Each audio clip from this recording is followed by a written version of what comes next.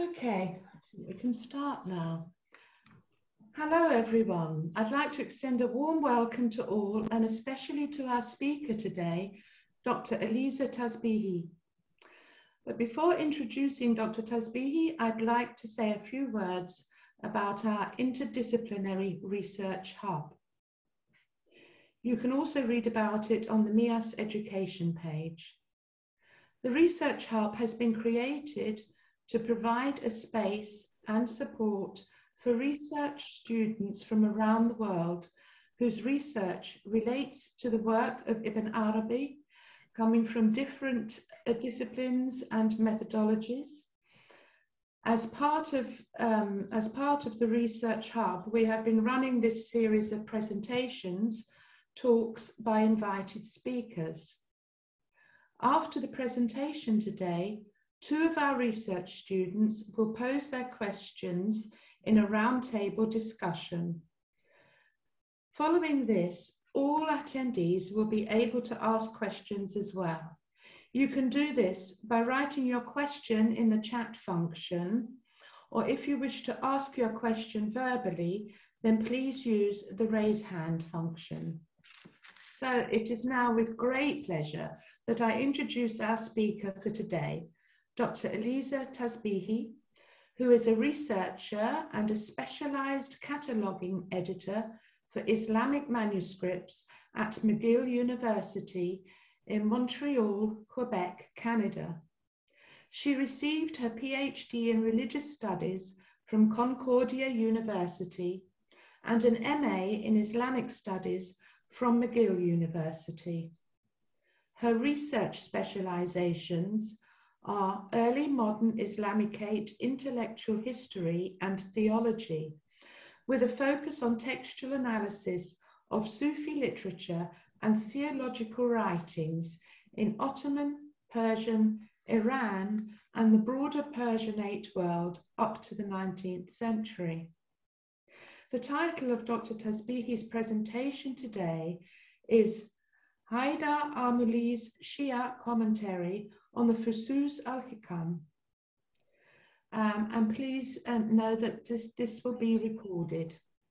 So with my pleasure, I now pass over to Eliza Tasbihi. Thank you. Thank you, Yahya. Uh, good afternoon, good night, good evening uh, to everyone uh, from all over the world. Uh, I'm joining from Montreal.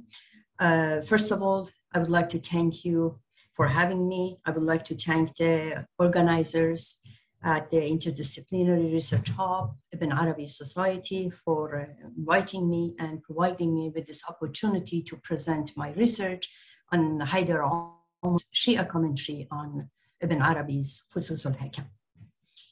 The current study is an analysis of the esoteric perceptions of Haidar Amuli on the subject of Walaya and Imama as reflected in his Nasun Nusus fi Sharh al-Fusus al-Hikam, which is a Shia commentary on Ibn Arabi's Fusus al-Hikam.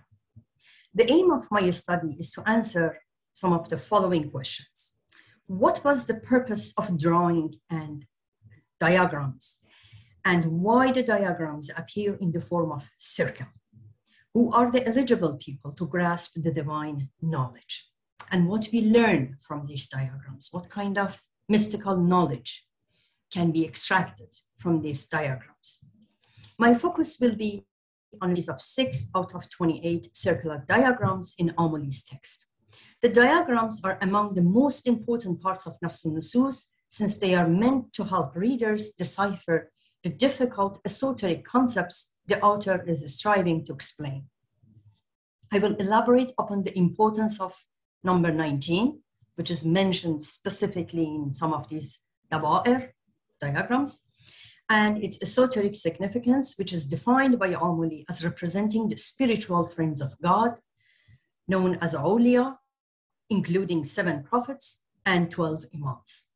According to Amuli, these friends were capable of receiving direct esoteric knowledge or ilmul ladunni, I will argue that Amuli is following closely and in some part literally Ibn Arabi's teachings regarding the divine knowledge and qualities of perfect man, Insan al-Kamil.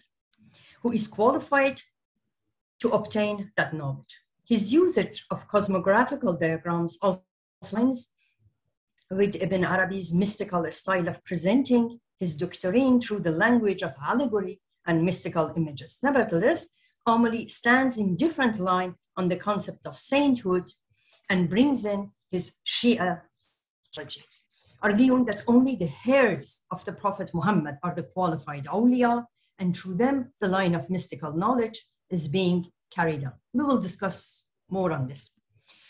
Amali, as he was popularly known, was a Shia Sufi theologian acclaimed for his integration of Imami Shiism, Sufism, and the thought of Ibn Arabi into a coherent system of philosophical mysticism. Amali is also known for his emphasis on the unity between Shiism and Sufism. He states, quote, most Sufis imagine out of ignorance that the immaculate Imams were devoid of all mystical or Gnostic qualities, while Shiites have been deluded into thinking that the character of the Imams was exclusively restricted to the conventional science of their day. End of quote. He was a synthesizer of Ibn Arabi's metaphysics into the Shia tradition, and his commentary on the Fusus reads through Shia doctrine with an emphasis on an imamology. imamology. Amali's commentary follows closely the reading of the Fusus. The Fusus al-Hikam is one of the most precise short writing of Ibn Arabi, written in 12 chapters. The title of each corresponding to one of the prophets. As discussed by Sadruddin Ghunawi, the stepson of Ibn Arabi, it contains the epitome of the spiritual perception, law of the Prophet Muhammad concerning the knowledge of It also points to the source of spiritual perceptions of the prophets mentioned within the book. The Fusus explains how each of the prophets manifests certain divine names and attributes. Since Muhammad is the greatest, the epitome of Insanul Kamil, the perfect man, and the last of the prophets, his station embraces all the perfections possessed by the other prophets. The Muhammadan reality is the greatest name, the name of the essence itself. This is why his spirit was the first created by God. In fact, Ibn Arabi mentions uh, the name of the prophet at the last of Fusus al-Hikam and dedicates the last chapter, the last fuss to the Prophet as being Jami, the comprehensive, including all the divine names. Commenting on the Fusus, Amali employs a unique visionary language and through his series of cosmographical diagrams elaborates specifically on the spiritual state of the Prophet Muhammad, his spiritual journey and his heirs, the 12 Imam, through the line of Fatima and Ali, who represent Muhammadan awliya. Amali's cosmographical diagrams comprises of 28 mandala-like circular forms, and they are intended as graphic aids to the text they accompany to elaborate Ibn Arabi's discussion of the divine names attributed to each prophet. Why circular? The, the, popularity of circular representation in Islamic cosmographical diagrams no doubt reflects the universal acceptance in Islamic culture of the Aristotelian belief that the sphere is the most perfect of all forms. As Amali argues, God could only have created the best of all possible worlds, which naturally led to the conclusion that the universe was a sphere.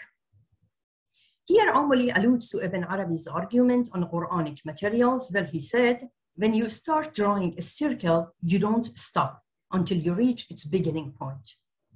God created the universe in his own form, which is the most perfect form.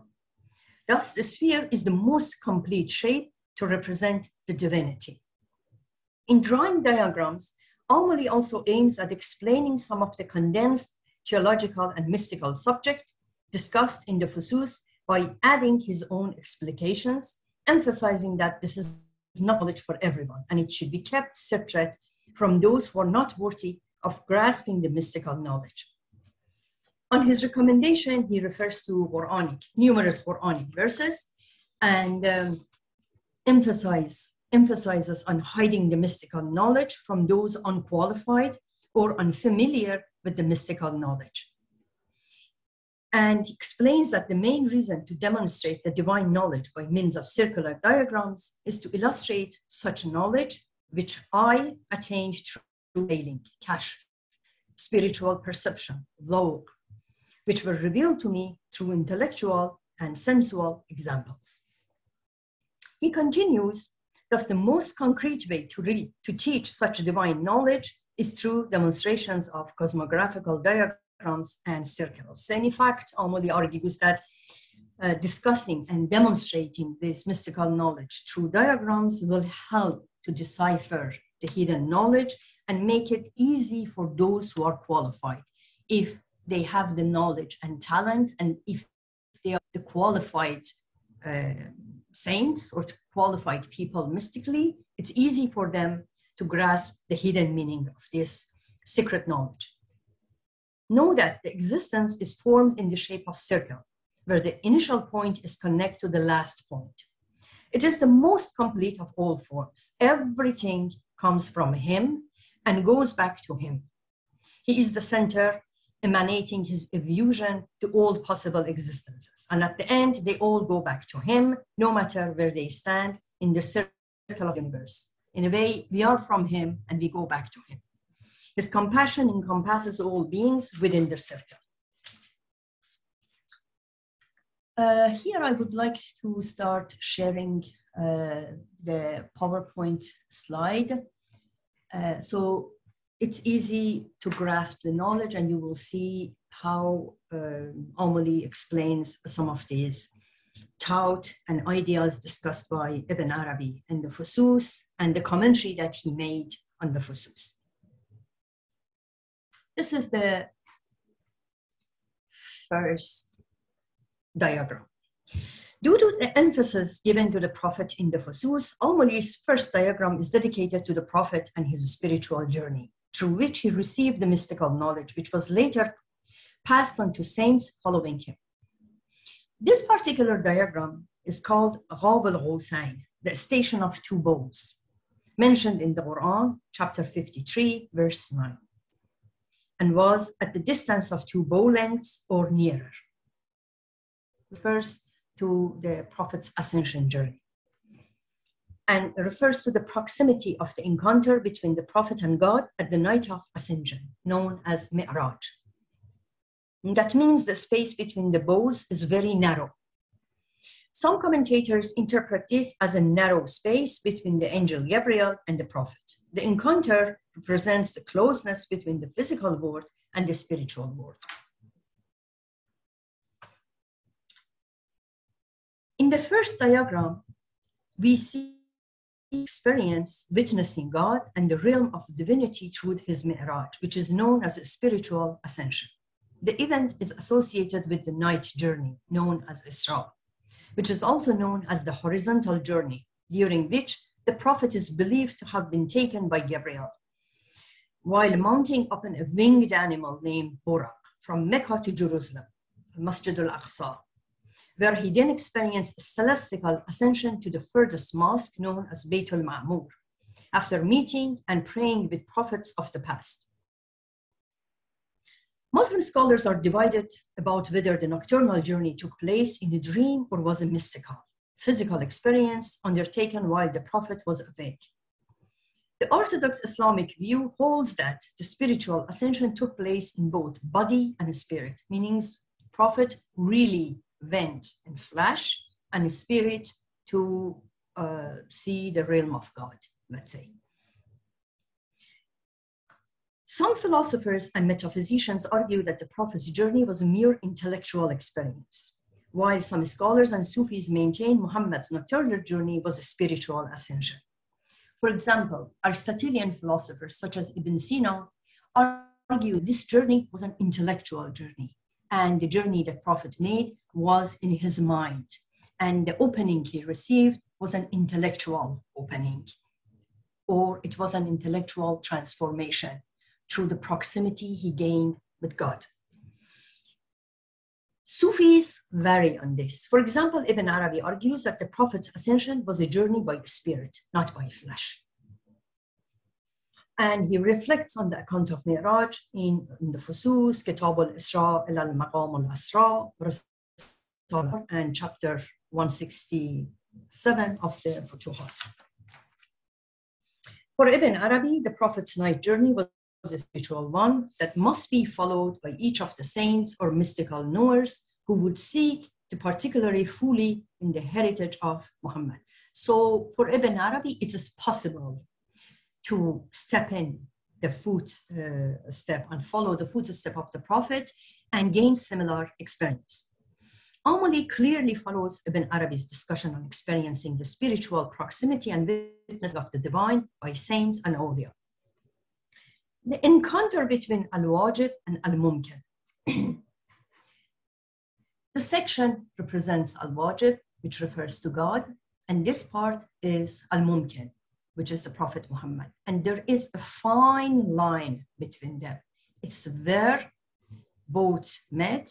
So Prophet Muhammad gained proximity and gained the spiritual state by being close spiritually to God.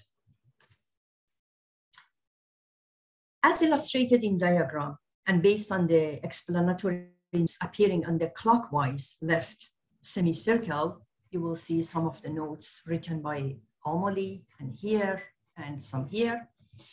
God is the absolute necessary, al-wajib, in existence. And the notes on the clockwise right semi, semicircle read that the Prophet Muhammad is the epitome of possibility, al-mumkin, in existence.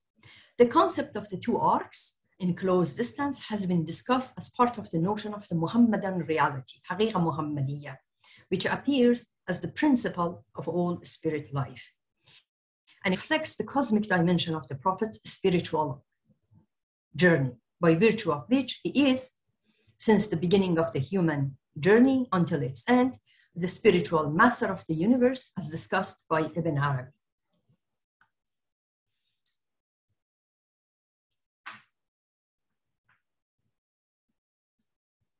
Haqiqa Muhammadiyya appears as the principle of all spiritual life. It also reflects, as I mentioned, the cosmic dimension of Prophet's spiritual journey.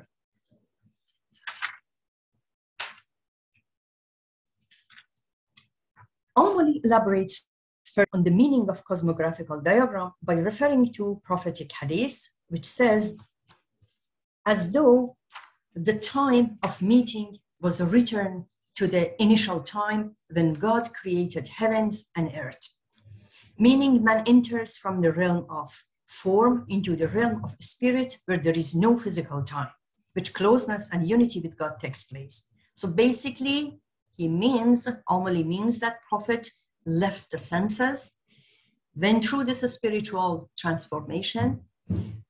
The time went back to the original time of creation of the spirit. And that's how and when the proximity and the encounter between God and the prophet took place. The circle is surrounded by four smaller circles and as described by Amali, they represent the great words and beings belong to each. This is the word of knowledge, al-aql, which is belong to the divine power, al-jabarut. Soul, this is jism, belongs to al-san. The soul from the realm of divine sovereignty, al-malakut. And body from the form of humankind, al-insan and nature from the realm of divine ownership, mulk. So basically, human being who has the knowledge, has the body, has the soul, and lives in the nature. He is part of the nature with the help of God. By gaining the spiritual knowledge, can experience this proximity. The next question is who are the qualified saints other than the prophet? who are able to receive the complete knowledge and divine revelation. In his introduction to Nas nusus while explaining the reason for writing a commentary on the Fusus, Amali elaborates on the importance of Insan al-Kamil, who is the most qualified to receive God's divine name and mystical knowledge manifested in the Prophet Muhammad. Quoting Ibn Arabi, Amali writes, quote, what is particularly important about Muhammad is that he has been a cosmic being before he was, he was raised as an individual prophet. at a certain moment of human history in the capacity of God's messenger. End of quote. He bases his argument on a famous hadith where prophet describing himself as a being of cosmic nature. I was a prophet, even while Adam in clay and water. Of course, scholars explain this particular hadith as saying that the spirit of Prophet Muhammad was created, the light of Muhammad, Nur Muhammadiyya, Haqiqa Muhammadiyya created before Adam was created. Following Ibn Arabi's doctrine of sainthood and quoting the Quranic verse, chapter 10, uh, verse 62, the friends of God will certainly have nothing to fear, nor will they be grieved. Omali asserts that God chooses his friends as those who embody the best qualities of the human race. God's friends are first and foremost the prophets. His revelations to the prophets and make it possible for others to become his friends as well. Each prophet is a source of guidance and a model of human goodness and perfection. Those who achieve the, status of friendship with God by following the prophet may then be given an inheritance, wasi, from the prophet. According to one of Ibn Arabi's doctrine about sainthood, Walaya, God's friends are those who inherit their knowledge, stations and states from the prophets, the last of whom was Muhammad. The wali is the one who is selected by God to be for him. Only places the friendship of God within cosmographical diagrams. And he puts that context, and puts that mm, concept into the context, pointing to a very decisive similarity and acknowledging divine inspiration even after the death of Prophet Muhammad. According to him, prophethood, nubuwwah, and risala comes to an end, but wilaya subsists to eternity. That is why God is called Wali as divine name. He adds Wilaya is superior to Nubuwwah, since it is the ending phase of beings. In Ibn Arabi's conception of Wilaya, Wali is the widest concept, comprising both Nabi, prophet, and Rasul, apostle. An apostle is the narrowest of all. Every apostle is a prophet, and every prophet is a saint, but not vice versa. In this respect, the saint is radically different from the prophet and the apostle because the words Nabi and Rasul are not divine names. They are peculiar to human beings. Wali is a name of God, but God has neither called himself Nabi or Rasul, while he has named himself Wali and has made it one of his own names. So Wali is one of the divine names. In other words, since Wali is a name common to God and man, and as God exists everlastingly, sainthood will exist forever. Thus, according to Ibn Arabi, which was followed closely by Amali, as long as there remain in the world even a man of the highest spiritual power who attains to the rank of sainthood, and in fact, such a man will certainly exist in every age, sainthood itself will remain intact. Saint is a manifestation of perfect mankind, insan al-kamil, and in the following diagrams, you will see that Amali illustrates mankind's completeness in physical and spiritual aspects. This is the physical, Alam al-Suri. You will see in the Alam al-Suri the zodiac signs, the nature, the seven planets. And uh, the next diagram that I'm going to show you, you will see the name of prophets and his awliya, his friends. For each of the natural elements that every human being, we all share, regardless of our spiritual status. We could be a normal human being without gaining that spiritual knowledge. For all the natural elements, especially the important ones that you will see this zodiac signs and, uh, and so on, and uh, the, the name of the months, and the Arsh, Kursi, uh, the divine power, Amali assigns 19 letters, which is the Basmala. Starts clockwise from the left to right. As you know, all the Quranic chapters except the chapter Toba, repentance, starts with Basmala, Bismillah Rahman and Rahim, which has divine attributes in it, Rahman and Rahim. Only assigns each letter to all these natural elements, as well as the seven prophets and 12 awliyas. And by assigning these, he would argue that Both, when they coincide, they bring natural harmony and balance and mizan to the board. Awmali illustrates mankind's completeness in physical and spiritual aspects. By comparing man incomprehensiveness to basmala in the Quran, he argues that incomprehensiveness, al-jami'iyah, mankind in Kitab al-Afaq, Book of Horizon, is like basmala in Quran. It gets power from the divine names Mm-hmm. and is as important as heart in the body. As we see in the diagram, like the Quran, which is comprised of all the divine names and attributes, mankind in the world of form, in the Alam al-Suri, and the spirit. Here, I will explain this table.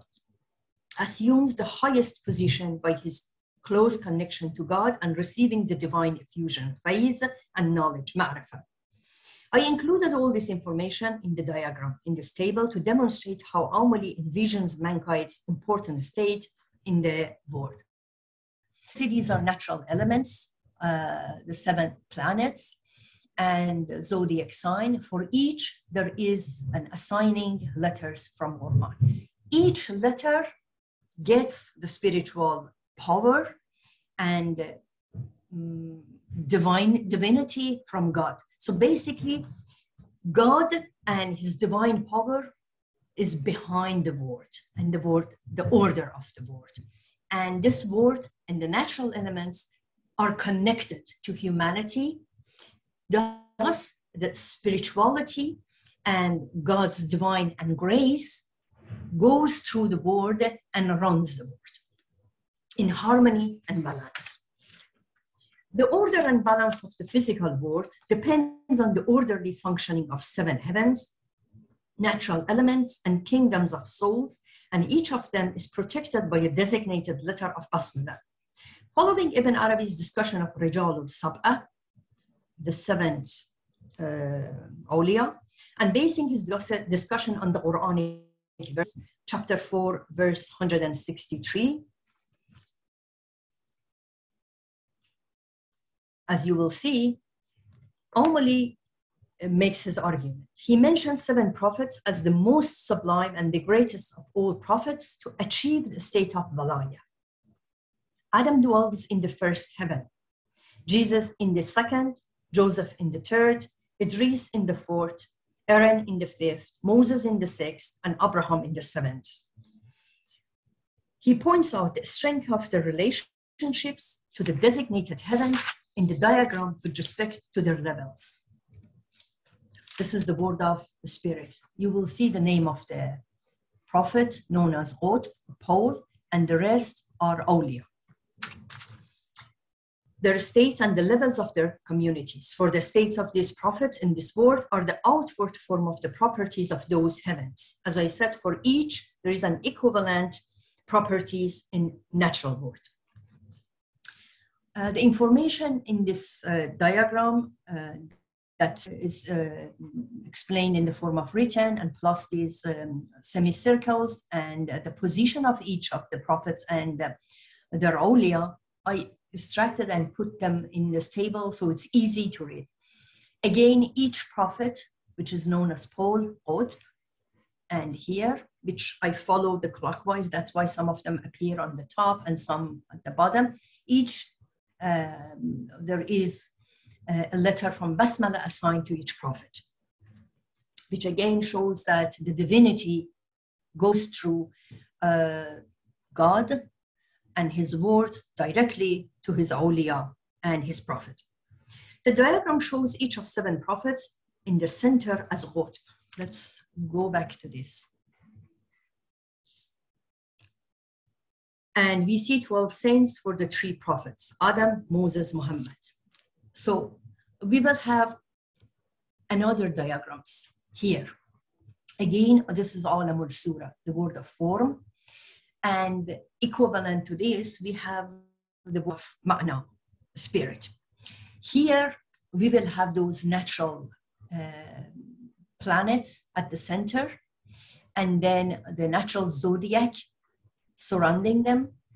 And uh, these are the Arabic months, Muharram, Safar, Rabiul Awwal. It's easy to read. Again, four small circles on the side explains that they all gain power through knowledge and through the body. So basically, humanity and the world needs this body, the physic, to um, have this experience through the knowledge and through the nature uh, with the help of nafs and just. And the second uh, diagram is the alam al-ma'na. We see Prophet Muhammad uh, is at the center, which clearly demonstrates the position of Muhammad among mystics, such as Ibn Arabi, who's the manifestation of Insan al-Kamil, uh, who is at the center. And as I mentioned, even in the Hadith, Prophet Muhammad would say, I was created, my spirit, haqiqah, was created before Adam came to existence. So we see Adam, Moses, and Muhammad, who received the divine knowledge through their Qutb, Nabi and Prophet. The fourth semicircle mentions the rank of Awliya. Qutb means Nabi and the Prophet. Qaus means Rasul, the perfect human being who has the comprehensiveness and the comprehensive spiritual quality of the Wali and Nabi. And they are Fard, this is Qutb. So basically, Nabi's first diagram, it's a prophet, he's the Qutb. And then these are the stations of the Wali, the Awliya, Watad. But the Rasul is the perfect human being, this is uh, the Qaus. Fard is the unique one, loved by God, chosen and trusted by God. And Wali or Watad, who is the Caliph and supported uh, by God. The seven prophets, again, I uh, distracted all, all the information and made it in, to read in this table. You will see the name of seven prophets and their awliyas. Seven prophets receive divine knowledge from God and then passes, passes it to their awliya. And it's through their operations that the world continues to exist. The awliya will protect the seven territories that we saw in the word of uh, as-surat, and the spirit of seven heavens will protect these awliyas. So there is a connection between awliya and uh, the territories and the na- nature, basically. The order and balance spiritual world depends on the spiritual power and action of seven prophets and their seven saints. A designated letter of Basmala protects each of them. The Prophet Muhammad and his perfect followers manifest the all comprehensive and the greatest name which embraces all the universal names and realities of the world, not only one or some of them.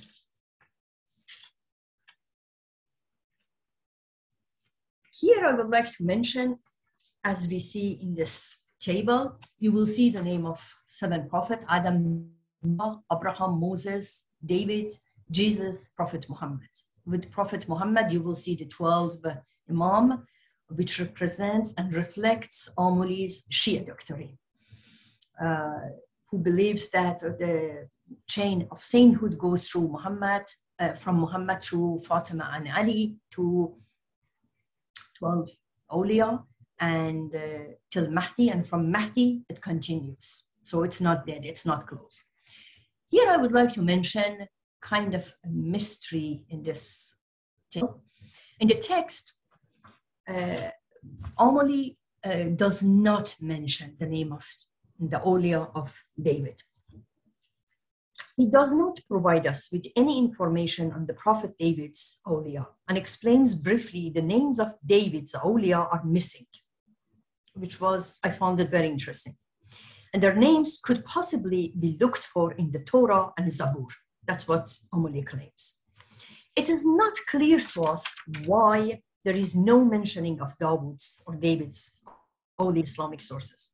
David or Dawood, as he is referred to in Arabic and Islamic source, was a prophet and messenger of God.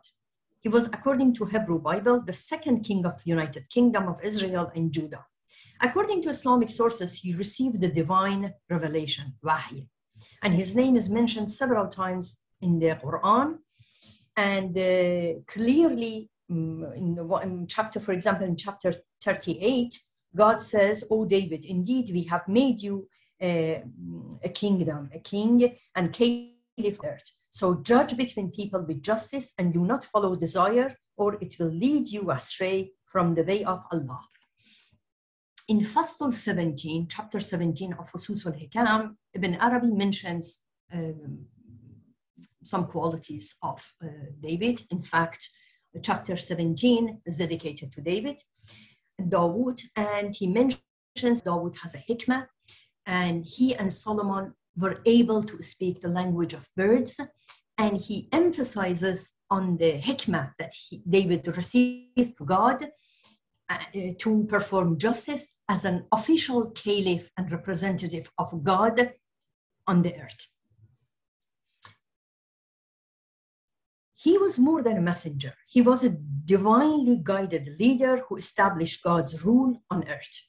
David was involved in social and political affairs and was engaged in wars as a king, which led to killing several people. This could possibly explain why Amuli refrained from mentioning his awliya. Another reason that he mentioned, of course, it was mentioned in Fusus, and Nass al-Nusus is a commentary on Fusus. So obviously, David, as one of the uh, prophets who receive revelations, uh, his name is mentioned as one of the seven prophets. Uh, he has a rank, he has a spiritual rank as a prophet who is mentioned in the Quran. We made his kingdom firm and gave him wisdom and conclusive spirit, uh, speech. And the fact that his kingdom was firm, he was granted wisdom, hikmah, and conclusive speech, as well as the divine revelation he received from God. Amuli ranked him among the seven prophets. However, he does not provide why the names of David's awliya are missing and why no religious or historical sources gave any reference to their names and spiritual status. The name of awliya for other prophets were mentioned clearly in Torah, and most likely Amuli has been read Jew, Jewish sacred books and sources to verify Adam, Abraham, and Moses' spiritual heirs. However, as I mentioned, he refrains from mentioning David's saint, so I needed to mention this. Amuli's diagram represents a complex network of correspondences between the two major spheres of creation, the world of manifest, corporeal entities, and the world of hidden, the spiritual beings. The two complementary phases of creation are referred to by Amuli as the Kitab al-Afaq, Book of Horizon, and Kitab al-Anfus, Book of Soul, respectively. Also involved in this science of correspondences is the Book of Revelation, the Quran, which seems to act as an empirical, empirical device in the effort to discover or uncover the series of correlations that underlie and connect the two creation. So basically, we have the universe, the world of nature, humanity, and the world of spirit through selected friends of God, awliya, and Prophet. And as you saw, for each there is a letter from Quran signed to give them a spiritual power. By collating these two holy writs, the inspired exegetes can see God manifest himself in the vastment of letters, words, and chapters of Quranic text on the one hand, and in the form of manifestations of his names and actions on the cosmic horizons on the other. It is then that the Mizan order can be achieved in the world. Seeing God simultaneously as both invisible and dispersed in the things and phenomena of the empirical universe is the privilege of divine messengers, prophets, friends of God, awliya, and God's chosen ones. Only they can comprehend allusions, al-isharat, assembled in God's two books, the cosmos and the Quran. One of the key terms of Ibn Arabi's theory of Wilaya is the seal, khatam, meaning the ultimate and final unit of the According to him, the term khatam appears in two phrases, the seal of the prophethood, Khatam al-Anbiya, and the seal of sainthood, Khatam al-Awliya.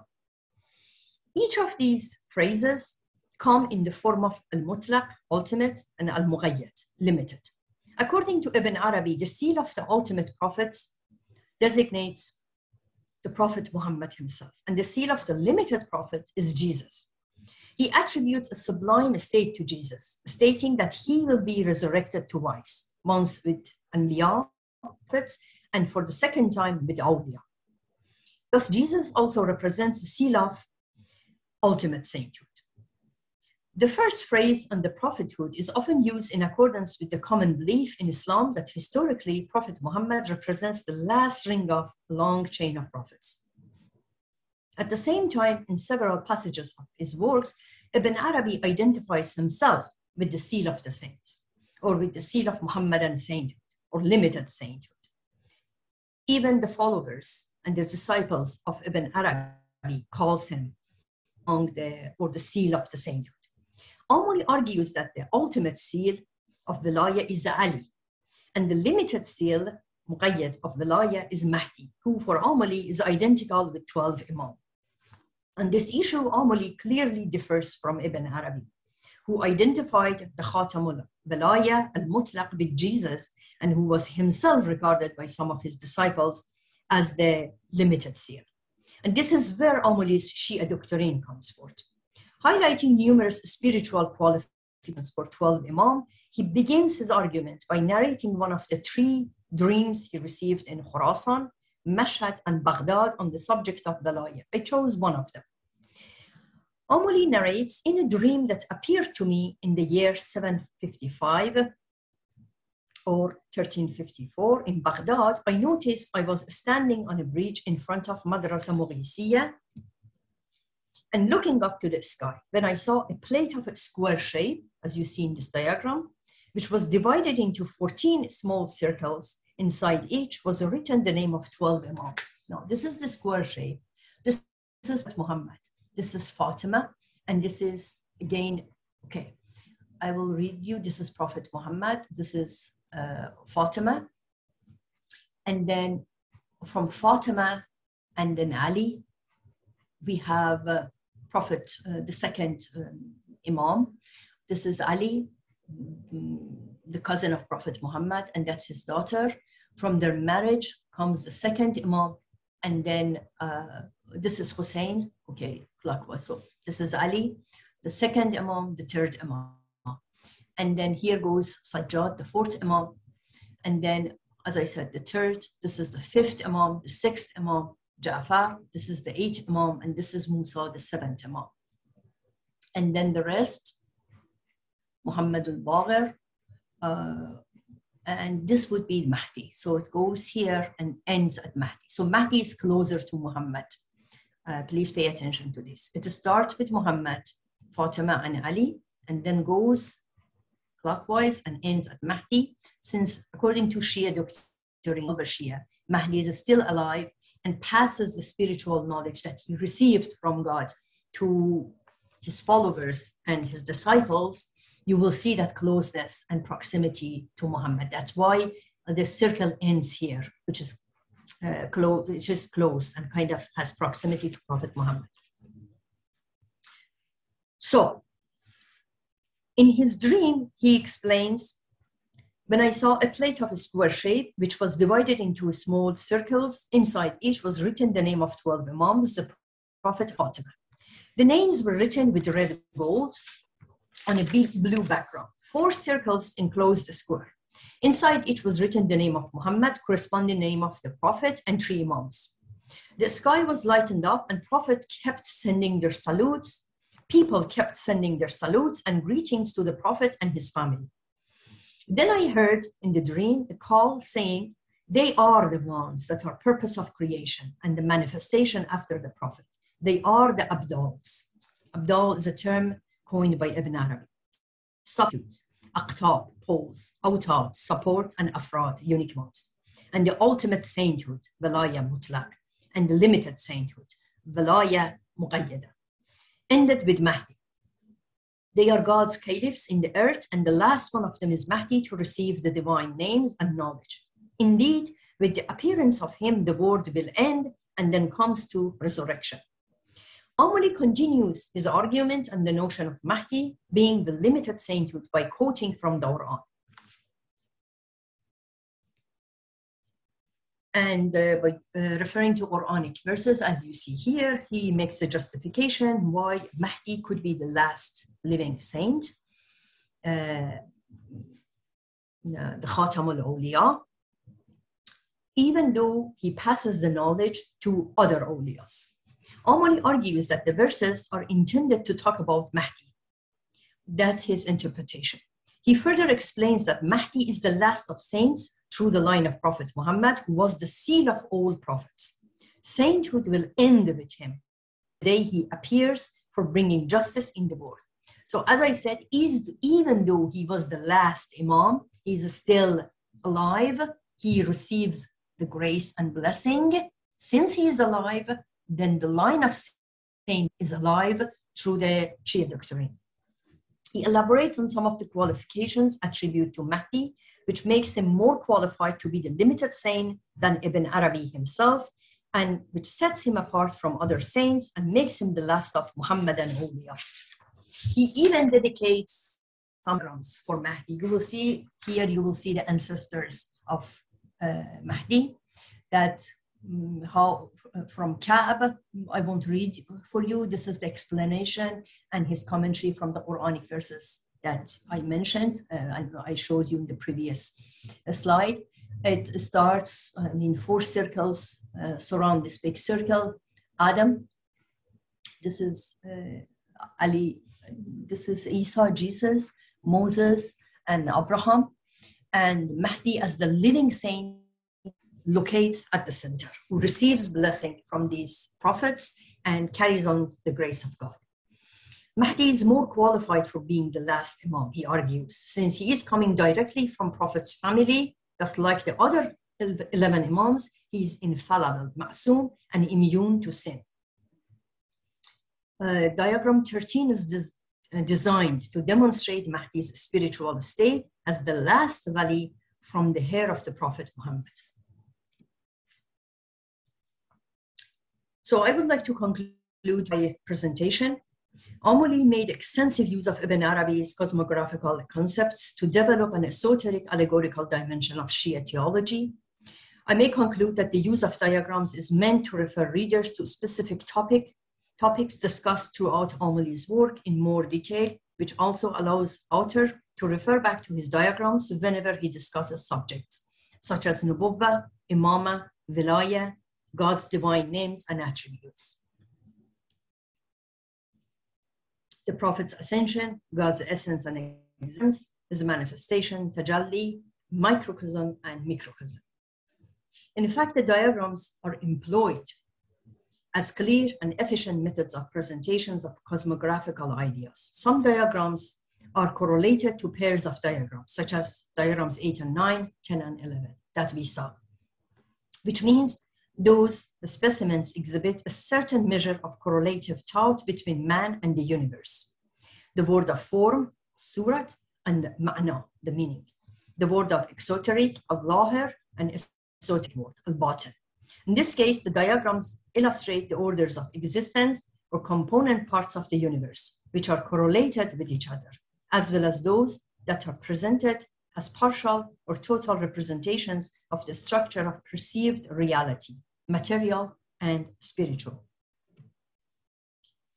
A close analysis of the diagram indicates that there is a connection between them similar to the chain of divine names and attributes assigned to each encompassing the entire divinity in the last fas, which is the name of the Prophet Muhammad.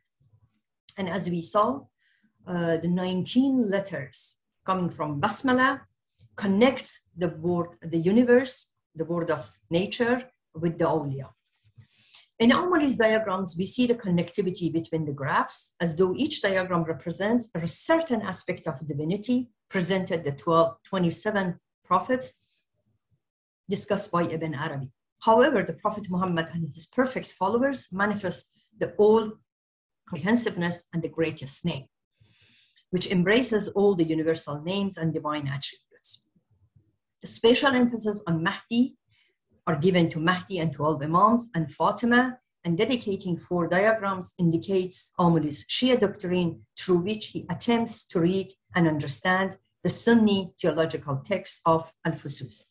Here I would like to mention um, about um, Fatima's name. We can read of course, there are different interpretation of reading Fatima's name in the diagram. Uh, one aspect of this could be when it comes to receiving divine message. spirituality goes beyond the gender. You could be women or men, doesn't matter. There is no gender in receiving divine message from God.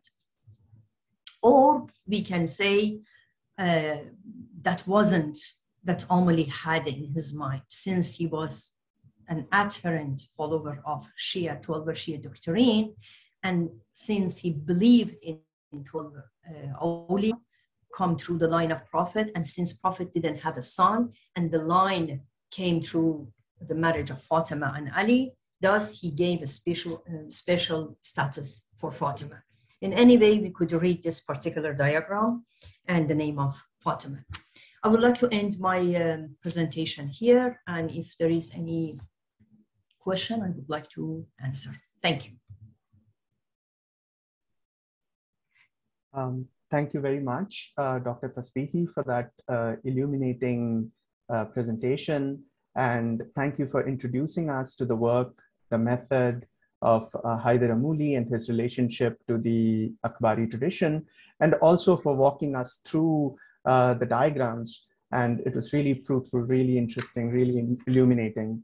Thank you very much. Um, now we'll be moving on uh, to the roundtable discussion with uh, two of our research scholars, um, Celia Salazar and Florian Halili. Uh, before I introduce before I uh, invite them to the to the roundtable, I'd like to introduce them and also give an idea of their research interests. Um, uh, Celia Salazar uh, is a psychologist graduated from the National Autonomous University of Mexico where through her deep interest in mysticism and religion, uh, she participated in several projects related to Middle Eastern studies at the university's Philological Research Institute. The title of Celia's graduate thesis is uh, The Hermeneutics of the Symbolic Imagination, an encounter between the thought of Gilbert Durand, Henry Corbin, and Carl Jung. The aim of her study is to find the link between the religious symbol and the imagination through a transdisciplinary dialogue between Gilbert Durand, uh, Henry Corbin, and Carl Jung. Um, Florian Halidi is uh, currently pursuing his MA in philosophy. Uh, his interests lie in the different ways of knowing the human condition as explored in the spiritual traditions, in philosophy, and in science. Uh, the presence in Ibn Arabi's thought of these different perspectives for exploring the key questions of human experience is of central importance for Florian's further study of Ibn Arabi's writings. So with that, I would like to invite uh, both Celia and Florian to the roundtable for discussion with uh, Dr. Tasbihi. And maybe I could invite Celia to go first with her question and then continue. Yes. Thank you very much, Bharadwaj, and thank you very much, uh, Dr. Eliza Tasbihi, for this fascinating article. I read it lots of times. It's just very revealing, and I'm grateful for it. And um, my question is related to Amuli's notion of time. Um, he says, well, um, in, in, your article, um, it's mentioned uh, like this, it is, it is as though the time of meeting was returned to the initial time when God created heavens and earth. And my question is, is, is in these moments when unity with God or with the divine takes place, uh, when there is this transformation of time, um, if it's related to the balance between the corporeal and spiritual worlds, um, this is if, if there's a relationship between the change in the notion, in the notion of time and the balance of the world. Um, I'm asking this because in Carl Jung, there is this uh, concept that is called uh, conjunctio oppositorum, that is the, the moment when the unconscious and the conscious uh, united, get, get, united. And um, he says that in this moment, there is a change of perception in time, in consciousness. There's a new consciousness that is born that is called the eternal child, but that's another thing but he says that um, it's, it is like, it is as if uh, the, linear, the linear time changes into a circular time, a circular perception of time. And this also gives balance to the self and gives balance to the soul. So I was wondering if there's something related to this in Amuli's uh, theory or Amuli's uh, notion of, of time. Thank you so much for the question. Interesting question. Uh, perhaps I could learn from you. I'm not familiar with Jung's idea on the time. I haven't read it. Uh, but from the commentary that he made on Fasl, uh, on Nass al-Nusus, uh, on Fusus ibn Arabi, I see that he follows closely uh, Ibn Arabi's notion of time. In fact, it's a complicated subject, and there are discussions on this issue. Uh, I could mention to some of the discussions, for example, Caner Dagli and Eric Winkel have written and presented and uh, you can find uh, their articles in the website of um, uh, the society, Ibn Arabi Society. Uh, in fact, um, Caner Dagli, pre- he presented this article when I was an MA student, and out of curiosity, I wasn't planning to read Ibn Arabi at that time. Just I liked Ibn Arabi, and I read some passages. I went to New York at the time. I saw that um, many Ibn Arabi scholars came, and Caner Dagli offered, presented a fascinating, very fascinating presentation, time and no time, according to Ibn Arabi, and he brought in lots of physic notions. It was very scientific, and he made the conclusion, uh, very, if I want to make it very simple, that we need time uh, without a time, there is no meaning in space. In fact, if there are objects in the space and we want to say that something happens before this or after this, we need time. So basically, the notion of time, according to Ibn Arabi, is relative. I will explain more. That's how he concluded. Eric Winkel brought many passages from Ibn Arabi very conclusive. And also there is a good book, Time and Cosmology by Muhammad Haj Yusuf. Also, he focuses on the concept of time. Now, according to Ibn Arabi, time is a distance, a notch in a circle. Since we talk about diagram and circle, I chose this particular passage to be able to answer eh, in case somebody asks, because time, I knew mm, time would be problematic. It's a ratio of distances, a relation of one thing to another. Ibn Arabi describes timing and time period in terms related to prayers. For example, he says, when we pray in the morning, then we pray in the afternoon. There is a time. We want to differentiate, so it is relative. We, we have this time to say, have a night prayer. We have a morning prayer. This is something man made when it God, when it comes to God's time or the time relates to God's power, he calls it dahr, which is comprehensive. When it comes to humanity, we have the notion of asr, zaman. In this particular case, we have zaman, we have yom, we have ayyam, different parts of the day and night.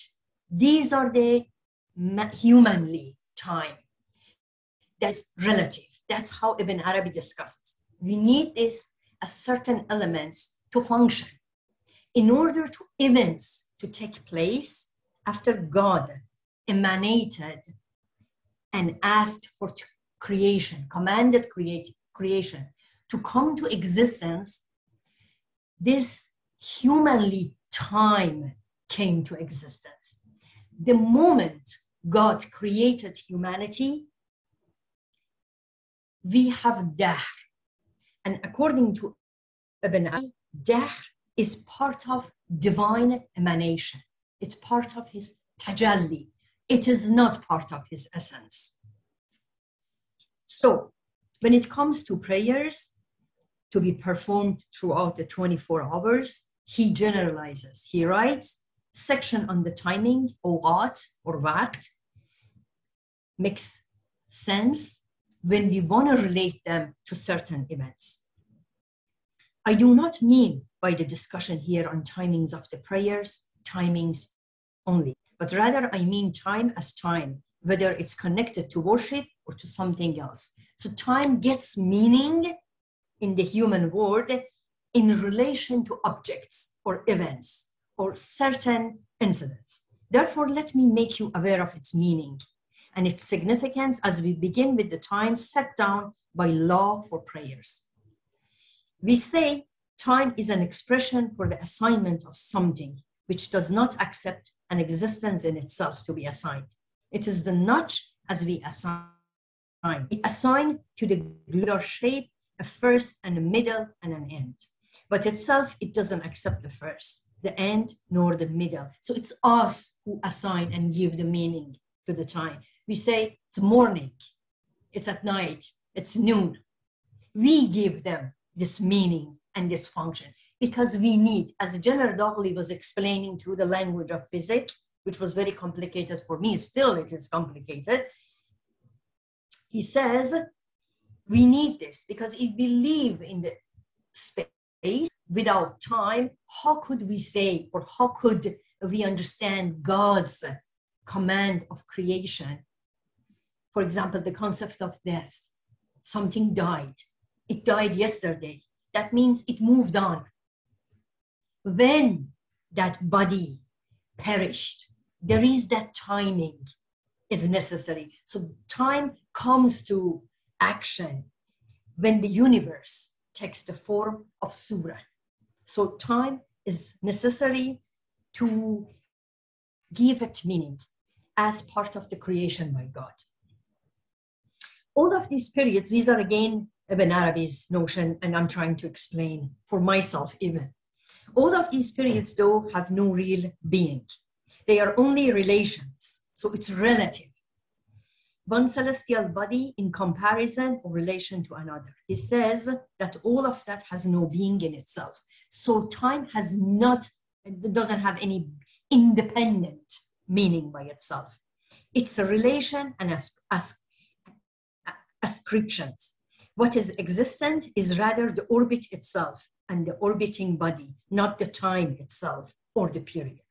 For Ibn Arabi, the idea that something was created in the past and then continues in the present is impossible. He doesn't believe in such a thing because it would then be independent of God. But he believes that God is the creator. We can't say that morning is independent, then something else or some other God should be there to create these objects or this particular time. Time is given the meaning for the functioning of the universe. For him, time or death is the divine emanation, tajalli, and one of the attributes, divine attributes. It's not of God's essence. Time has no independent identity by itself. It has meaning in connection to other events and objects. Just to conclude your question, Ibn Arabi, um, Haydar Amuli follows the concept of Ibn Arabi on this. And when he says Prophet Muhammad experienced that proximity of Mi'raj and manage to witness the divinity in God as though the time changed, meaning as though, because this Mi'raj was spiritual, even for Haydar Amuli. He doesn't say, because he follows Ibn Arabi, he doesn't say that Prophet went in body. So if there is a transformation in spirit, as though the time stopped, when you feel and experience the divine, there is no human time. As though the time of creation, the time goes back to that time, you don't feel the passing of the time in the physical meaning as humanity experience. For example, I started my talk, let's say one hour ago. It's past. It is related. But when you experience the divinity, there is because you are in proximity with God, with the divine. The concept of human time has no relevance in that particular. This is what Ibn Arabi says, and he follows. Sorry if it's complicated, but that I really did my best to understand and to convey. Thank you very much, Dr. Eliza. It's, it's just amazing your answer and makes me wonder much more about this. And thank you, thank you very much. You're welcome. Thank you, Dr. Tasbih, for uh, such a wonderful presentation. And I really enjoy your article very much. Um, Thank you. And uh, it was really illuminating, uh, especially just the intertwining of the spirituality with the philosophy, as well as Ibn Arabi's thought with Amuli's, as well as the Shia doctrine. So there's a there's a lot happening at the same time on top of the cosmology and everything else, and the number systems.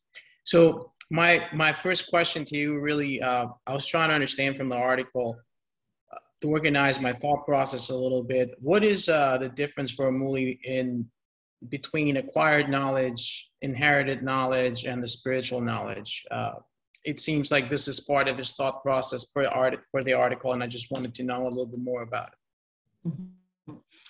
Uh, my understanding from reading the commentary is that acquired knowledge is limited and it's indirect. You go to uh, school, you read based on your capacity, your knowledge, based on your talent, you learn something. The acquired knowledge comes in different steps and it's limited. Everyone grasps knowledge based on their limitation, resources, and the capacity. Whereas the spiritual knowledge would be direct and unlimited you grasp it directly from God. That's the subject of uh, each fas or chapter in Fusus al Hikam, the divine knowledge. And in between, we have inherited knowledge, which was the subject of the article. And uh, the commentary that uh, Haydar Amuli discusses on the concept of Walaya, we have seven prophets and his awliya. They pass on they are the vasi. They receive the direct knowledge, the direct divine and spiritual knowledge through the grace of God directly, and they are passing it to their uh, awliya, to qualified people. So they play the role of medium. They receive directly and they pass it to qualified people. So that would be the inherited knowledge comes through the awliya to other people, qualified people.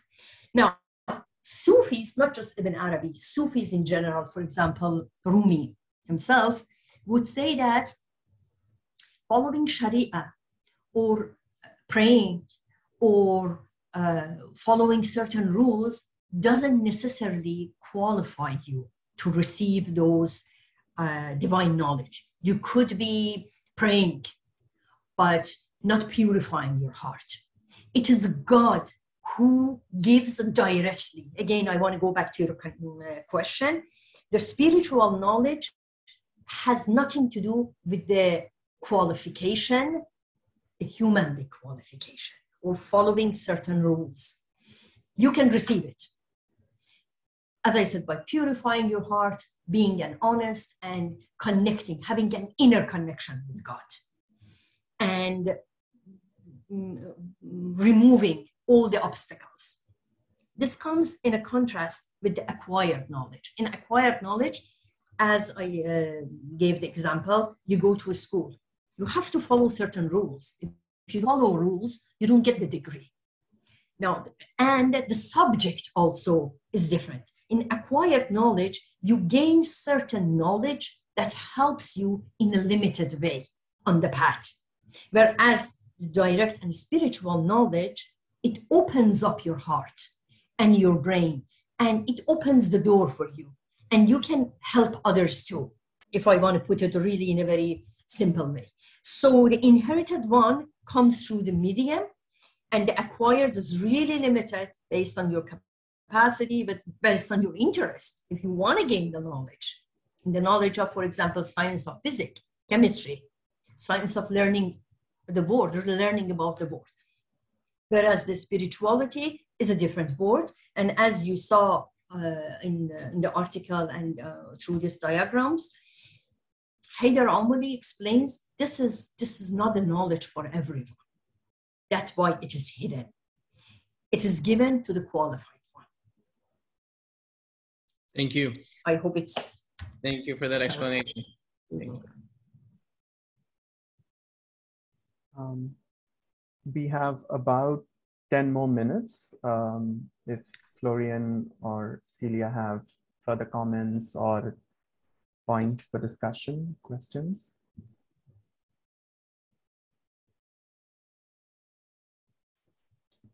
I, I can ask one more question if, if there's no other questions. Uh, definitely. Uh, because I found this so so interesting and uh, specifically your diagram of uh, the prophets and uh, the Elias of each prophet and um, you know something from the Quran came came came uh, to to my attention uh, where it says there never was a nation but a warner has passed among them and uh, I was wondering how Inamuli's writing uh, does this tie with his diagram of the prophets and the Elias and the uh, potentially divine knowledge that you just explained earlier? Uh, thank you for the question. Um, I think we all could relate with this. Every society, because we need leaders, we need um, guidance. And either we put it in the form of spirituality or non spirituality. Going back uh, to the idea of Ibn Arabi of Wilaya and sainthood and how uh, Haydar Amuli interprets that and make a comment on that. They believe that, yes, the knowledge, the spiritual knowledge, the wisdom, or as it's known as hikmah, goes through the chain of prophet and uh, awliya. And as I mentioned, uh, Wali is an attribute of God, is one of the divine names, whereas Nabi is not the name of God. Nabi is more human. So prophets are messengers. They receive messages, even though Prophet Muhammad was the last messenger, Khatamun Nabiyyin. But yet we see that he passes the spiritual knowledge to his awliya. And this awliya could be the leader of the society. So basically, there is no society without any leader. Now, I don't want to say religious leader. I would like just to use the form of leader and guidance. Uh, so these uh, guides and leaders receive their knowledge, if we put it in the perspective of spirituality, they receive from the source, either through Quran, they receive directly, or through inherited sources such as previous awliya. So there is a possibility, even though the door of Nubuwwah or prophethood is closed, the awliya or the spiritual guides, or as uh, Ibn Arabi used the word abdal and aqtab and otad, all these, there are some of these spiritual friends of God because God's called them his friends. Thus, there is no society, no time that we have a society without any leader who doesn't um, grasp the spiritual divinity and the spiritual power. So basically, humanity is always protected, or in a way, God never leaves them alone. There's always sources of guidance and uh, leadership that they receive the, uh, the divineness through the inherited sources, through the Messiah. I don't know if that answered the concern and the question. Oh yeah, it was great. Thank you very much. Appreciate it. Thank you. Uh, thank you, Dr. Tasbihi, and thank you, Celia and Florian, uh, for that wonderful discussion. Um, now it's time for the Q&A session. And as uh, Yafia has already mentioned, uh, the chat feature is for asking questions um, through text. And if you want to ask the question verbally, uh, please raise your hand uh, and use that raise hand function. Uh, with that, I'll hand over the Q&A session to, to Rin. Thank you.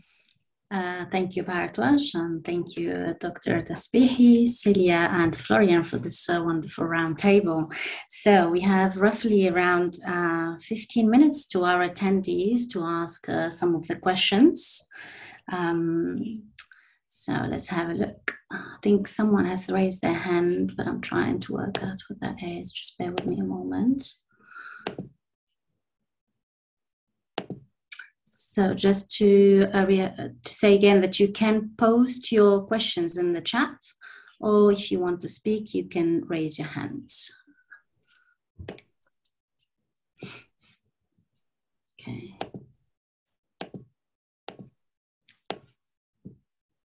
Uh, Mary Ann and uh, Nasima are in Yes. Nasima, okay, yes, correct. So let me, okay, yes, go ahead, Nasima, please.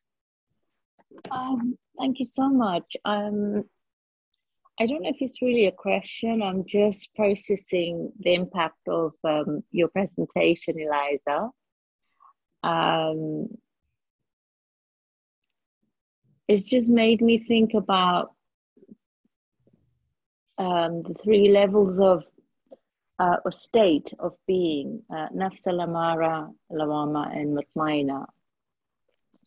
And I wondered in the context of that, how can the non-prophetic in awliya, the insanal kamal concept that you talked about, how the ordinary, the rest of the crowd, let's say, how do we um, taste that whole and this different level of as as we are um, uh, able to only taste rather than be a permanent station, unlike the prophets and the awliyas.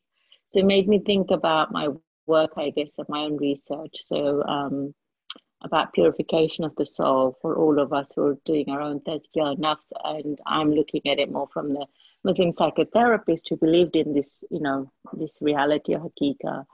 Um, yeah, so sorry, I'm really sort of thinking aloud with you. I'm not sure if that was a question there, but a bit more thoughts. Uh, well, thank you for the thought. Um, I don't have much to add this if you bring in the concept of nafs, because we all have uh, this challenge with our nafsul lawwama, amara, and mutma'inna. Uh, this uh, text, because it's uh, Fusus al-Hikam, of course they are talking, I mean, both Ibn Arabi and Haydar Amuli talks about certain uh, messengers of God and friends of God.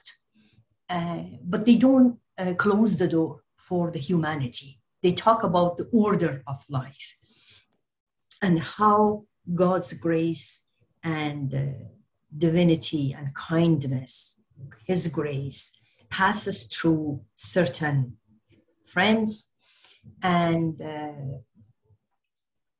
that helps with the order of the universe. Now, when it comes to individual uh, human being, I think that would be your question. There are different discussions that in Sufi text we see how uh, each human being who has nafs could uh, gain from this grace. Uh, I don't know if that was your question. If that was, then uh, some Sufis have different risalas. They rely on tawakkul, trust in God, and not losing hope, following sunnah of the Prophet if they are Muslims. Of course, in this context, we are talking about Muslims, Shia or Sunni. Uh, so following the sunnah of Prophet, following the messages from Quran, but mainly as an individual, working under nafs, mainly nafsul ammara, and uh, trusting God and following the footstep of awliya and trying to learn from them and gain from their blessings. Now, there are different texts on this, how people can purify their heart, whether Sharia could help. Closely, one follows uh, the Sharia of the Prophet, the teachings of Islam, and uh, there are different debates on this. But my main talk today was how uh, universe uh, has, gains uh, or takes its order through the grace of God. How God emanates uh, divinity through His friends, passes the grace to other people, and how protects the order of the world. So yes, we are part of the world, of the nature, and we are human beings. We have that spirit. We follow, some of us follow some of these awliyas, and I'm sure gain uh, the spirit and blessings. not sure if that uh, was an answer or some reflections to your question. So maybe I can learn more from you. Thank you, Nasima, for the question. It's a difficult, it's a difficult topic, especially when it comes to Ibn Arabi. um, so the next question is from Marianne. Uh, please feel free to ask your question, Marianne. Unmute yourself, please. Thank you. Um, I am so moved by your talk. It's wonderful. Um, I guess I have a couple of questions, if that's okay. One is, what did Ibn Arabi or, or Amuli, perhaps, perhaps in this context, how did he, did he have any opinion of Khidr? I haven't seen the name of Khidr, but Khidr would be one of the Abdals, one of the awliya. We have stories of Khidr. I think I have seen it in uh, part of Al-Futuhat, if I'm making, not making mistake. I can narrate briefly. Khizr is still alive according to Sufi literature. Rumi mentions it, Attar mentions it, like a school of Khurasan mentions Khizr's names, the green prophet basically. He is alive, he's one of the awliyas, and his encounter with Moses has been the subject of rich Sufi literature. That Khizr was given a permission or uh, a mission basically, and Moses follows him, and there is a dialogue and exchange between them. Moses is one of the prophets that's also mentioned. Uh, he has a special um, position in uh, Fusus al-Hikam. He, you saw his name in uh, the diagrams. Haydar Amuli follows him. One of the important Jewish prophets. Uh, Moses follows Khizr and questions some of his acts. For example, uh, Khizr makes some holes in a ship. This is one of the acts. But in the mm, way that they would follow each other, and uh, basically Moses follows Khizr, Khizr says, You're not ready. I believe that was at the early stage of Moses, because Moses also went through a spiritual transformation. It's possible it was before receiving the 40 commands when he received it from God and came from the mountain to guide the people. It's possible, I don't know, but it was during that process. He insisted to follow Khizr, and Khizr said, You are not ready yet. I would allow you upon his instances, his insistence. He said, I would allow you to follow me you follow, if you don't question my act. Just stay silent. He didn't stay silent and questioned Khizr on every element. And at the end, Khizr said, No, I leave you, you be, I leave you alone. I uh, engage in three acts upon the command, the divine command that I received from God. For example, the ship that I drilled and that sank because certain ashrar was, were living and they were going to kill certain people. And it was the moment I had to do that. Or a certain wall that I destroyed, you question me. There were under that, and there were orphan kids who were living in the neighborhood. So that shows that Khizr was one of the awliya, and he would receive the direct divine uh, spirit, divine knowledge, spiritual knowledge, and he would pass us on to other awliyas or other people who would want to receive that. Uh, I haven't seen the name, but maybe I didn't come across in Fusus al-Hikam.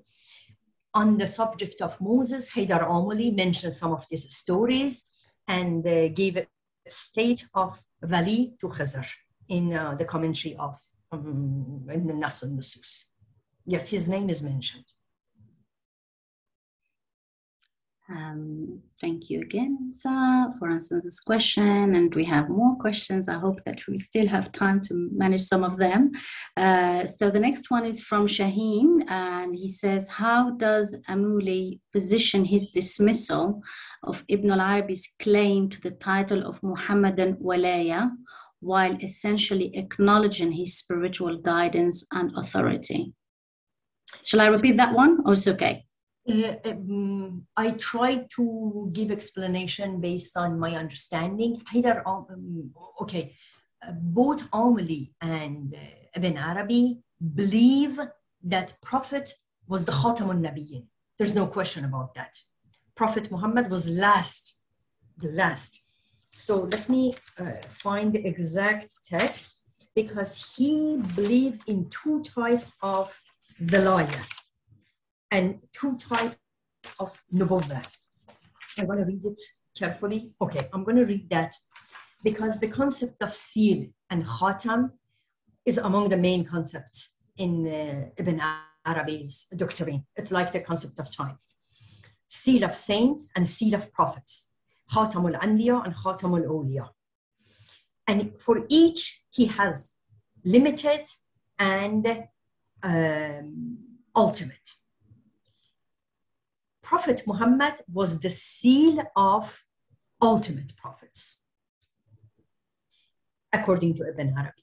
He was the seal of ultimate prophets, Nubuwwah Mutlaq. Jesus was the seal of limited, muqayyad, Nubuwwah, limited prophet.